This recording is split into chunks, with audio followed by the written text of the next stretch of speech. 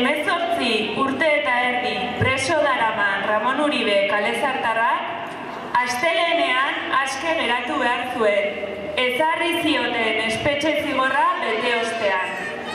Estatu espainolak, ordea, bestelakoa erabaki du, eta azken urteotan dozenaka euskal presorekin egin duen bezala, hauzitegi gorenaren euntalaro eta mazazpi barra 2006 doktrina aplikatu dio.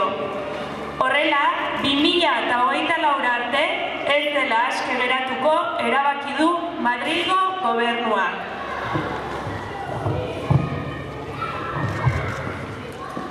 Gainera, azken unera arte itzaron du erabaki horren berri emateko. Kalera atea behar zuen egun berean jakinarazi diote beste amabi urtez lusatu diotela espetxe zigorra. Espetxeko zuzendaritzak bidalita bere espedientea maiatzaz berozu. Ministerioaren mai gainean zegoen arren. Antzeko kasutan egin duen bezala, irteteko zorian zegoela, eman diote ziegara itzultzeko agindua. Topaseko espetxearen atarian zain zituen. Zenideak eta lagunak berriz etzera itzuli behar izan genuen ezintasunak eta nahi gabeak jota. Jokan molde krudela izan da, baina bai Ramonekiko, bai bere zenide eta lagunekiko ere. Azken asteak kezka eta egonezinean bizitzera behartuak izan dira. Eta horrek lakori gerta zitekeela jakitun ziren arren, itxaropen izpiapurrak erabat zapuztua geratu dira gobernuak daraban politika menperatzailearen gatik. Bere legeak maltzurki egokituak euskal preso politikoei biziarteko zigorra ezartzea du helburu, salbuespeneko politika horrek. Maila pertsonalean dituen ondorio eta malgarri ezarago, Euskal Herrian abiatutako konponbide prozesuaren aurka hartutako erabakia da. Madrilgo eta Parisko gobernuak entzungor jarraitzen dute Euskal Gizartearen gehiengoak egiten dien eskariaren aurrean. Espetxe politika konponbidearen norabidean jartzeko.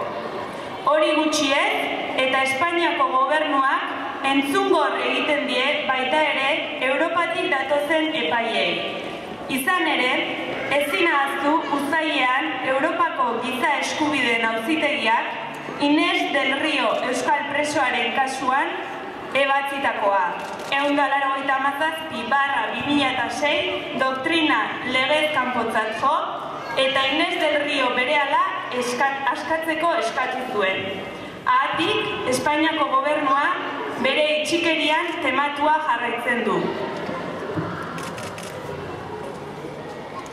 Guretzat, Ramoni eta beste irurogeita bost presoei egin diotena izen bakarrakin defini daiteke. Baik eta Usurbilko herria sanplanak indar guztiz salatzen du politika izagabe eta salbu ezterezko hori eta gure herrikidea berehala aske utz dezakela esikitzen dio Madrilgo gobernuari. Helburu horrekin dei egiten die usurbildar guztiei eta herriko eragile talde eta alderdiei. Ostirarian, zazpiretan herriak egingo den manifada. Alaber, Ramon eta gainerako presoak etxeratu arte mobilizatzen segitzeko eta urrengo egun eta asteetan antolatuko diren ekimenetan parte hartzerak dei egiten dizue. Ramon askatu, Ramon etxera, bizi arteko zigorrik ez.